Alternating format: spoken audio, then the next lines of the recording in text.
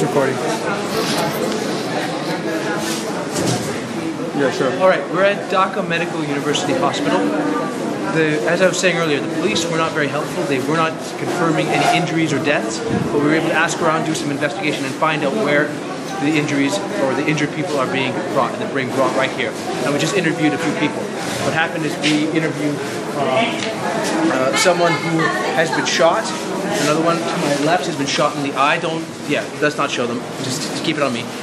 Has been shot in the eye, uh, and and there's also um, a lot of blood and a lot, a lot of death, basically. Uh, we haven't seen any corpses. I don't believe the actual dead bodies are being stored here. A lot of things aren't adding up.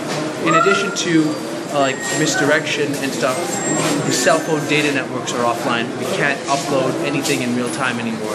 And I've tried on multiple networks on multiple frequencies. So I really don't know what's going on. Um, I love you guys. I'll catch you guys later.